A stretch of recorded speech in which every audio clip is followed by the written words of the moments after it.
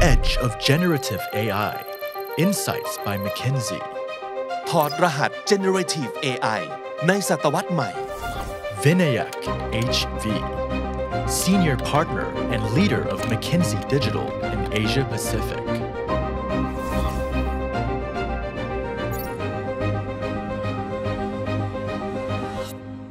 So let me get started with uh, a little bit of quiz uh, to all of you, which is I think I can see most of the audience, this bright lights, but uh, I just want to get uh, uh, two pictures so to give you a sense of what is the art of the possible. Uh, two pictures of quite cute kids, I might say. And my question to you is very simple. Which of you think that the left-hand side picture was created by generative AI? You want to raise your hands? Who thinks the left-hand side picture is created by generative AI? Who do you think the right-hand side picture is created by generative AI? So the folks who said the right-hand side, congratulations. You are very good at detecting what is generative AI versus what is uh, this. Some clues, I don't know whether you picked it up, but if you look at the hands, you can see that the hands are not very perfect. Uh, but that gives you some. But also, at the same time, what you can see is that the power of this technology, the power of this technology can actually create quite human-like images and human-like art. We are very early. We're still discovering what is the power of this technology, and this is only about a year old. Now, I want to draw your attention to the pace at which technology is moving, which is this is 1950s to 2020s. The one uh, thing to keep in mind is that, you know, when do machines start reaching human level performance. So this is the benchmarking which is done through Dynabench, which is a subsidiary of Meta. And zero, the y-axis over here, is essentially saying when does a machine start to reach human level performance? Zero is when you get to human level performance. The x-axis is the time. Now what's interesting over here is if you look at a variety of different tasks, handwriting recognition, speech recognition, image recognition, reading, understanding language, the time it is taking to get to human level performance is becoming shorter and shorter and shorter.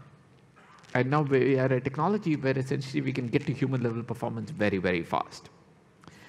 Now this all is pre-2022 and 2023 is essentially a year where we have seen an explosion of what's happening in generative AI. So a few things to remember. One, again, it's a little bit of a complicated slide, but if you look at the y-axis, this is the time spent on work today. The x-axis is time scale. The light gray lines is what our estimate was in terms of what is the percentage of activities that can be automated by technologies that exist today. So you don't need to invent anything new. It can be automated based on technologies that exist today. And the two blue lines was what we updated based on generative AI. I think the simple message is 60 to 70% of work activity can be automated. 60 to 70% of work activity can be automated by technology that exists today. We don't need to invent anything.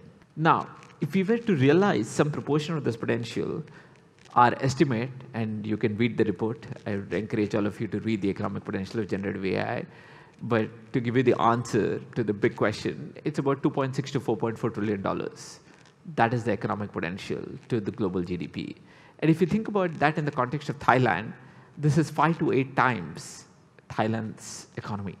So you can add five to eight times the equivalent of economic output of Thailand as a result of this technology. This is true across industries. So it's true in retail. You could add about 240 to 300 billion. It's true in banking, 200 to 340 billion. It's true in life sciences, where through generative AI, we can crack really complex problems such as protein synthesis, the discovery of new drugs. One is this is a technology which can be very powerful and can be beneficial to all of us and society. And I'll leave you with one last quote, which is Albert Einstein. This is a technology in its early days, and what will help us realize the potential is imagination. And imagination is much more important than knowledge. Knowledge is limited, but imagination encircles the world.